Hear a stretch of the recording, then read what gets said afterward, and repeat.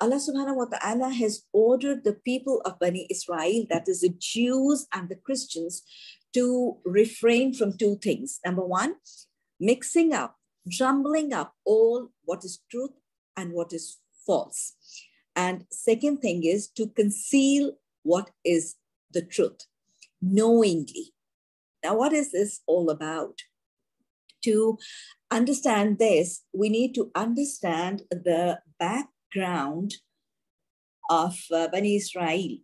Now, you know that Bani Israel, despite being blessed with a chain of prophets and with a series of holy books, they they kept on deviating from the teachings of Allah and from the orders of the prophets. So when they deviated from the teachings of uh, their prophet and the teachings of Allah, which they were given in their divine scriptures, then Allah would punish them. Allah would punish them because of their disobedience. And then Allah would deprive them of their power, of their rule, of their authorities and His blessings and then they were oppressed. In their books, Allah subhanahu wa ta'ala mentioned the prophethood and the arrival of Prophet Wasallam. And Allah subhanahu wa ta'ala has given gave them clear indications of the prophethood and the arrival of Prophet Wasallam. So you know what happened, what used to happen was they used to pray for the arrival of Prophet Wasallam. And they had been waiting for the arrival of mercy of the worlds. And they used to even announce when they were oppressed and when they were made slaves and when they were punished and when they were persecuted by the tyrant rulers, they used to announce. They used to announce and they used to highlight to their cruel rulers that, you know, once our prophet comes, then we will be victorious and our conditions will be changed and we will no longer be oppressed. But actually, what happened was that when Prophet ﷺ was chosen as the prophet, what happened was was totally against what they expected and what they desired. Muhammad ﷺ was chosen as a prophet in the family of Bani Ismail he was chosen in the second family tree. Although they had common ancestors, but they were disappointed and they were demoralized. And in fact, not only that, they were even furious as to why that Prophet ﷺ was chosen in the family of Bani Israel and the family of Bani Israel was left out. They were not blessed with the prophethood of Prophet ﷺ in this state of affairs, they got envious and they got jealous.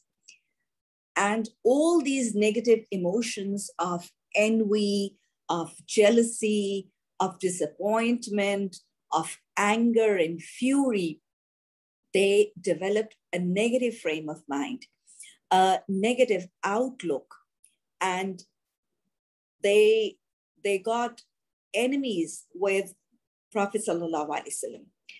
And because of all this negative attitude and a negative frame of mind and a negative outlook, despite recognizing Prophet Wasallam, they failed to accept and they refused to have faith and believe in him and his book.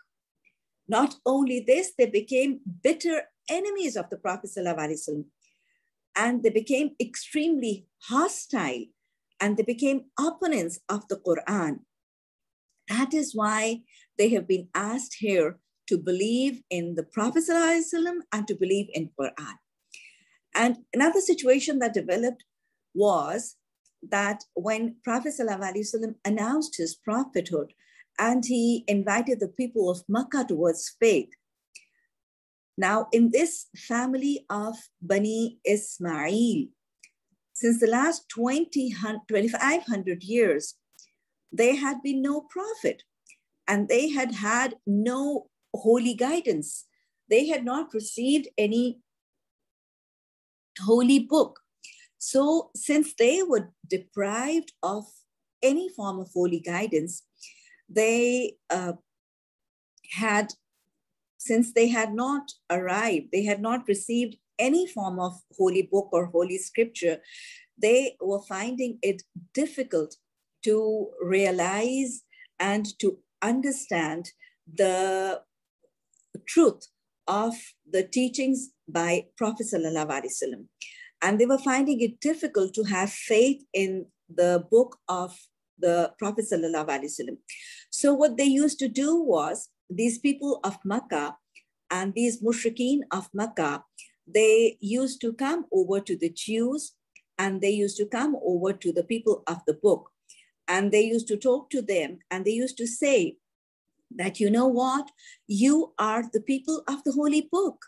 You have the holy scriptures and you can relate and you can comprehend and you can understand the truth of the teachings of Prophet ﷺ and his book much better than us.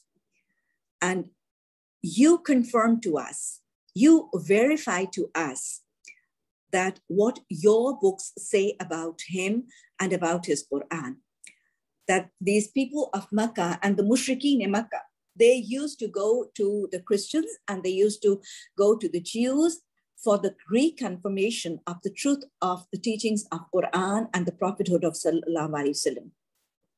And they used to say that you read the holy books and uh, what do your books say about what Prophet Sallallahu Alaihi Wasallam is teaching us or is saying or what he is telling? Are these verses which Prophet Wasallam is presenting, are they of a divine source? Now, to all these queries of the mushrikeen of Makkah, despite knowing all the truth, the Jews and the Christians, they used to conceal and they used to tell them that their books had no confirmation of the Prophet wasallam or Quran. So it is this falsehood they have been asked to stop from They've been asked that you have faith and believe your soul, yourself. And when people come to you reconfirming about the teachings of Prophet ﷺ, then do not mix the truth with falsehood and do not conceal, although you have yourself understood the truth of all this yourself.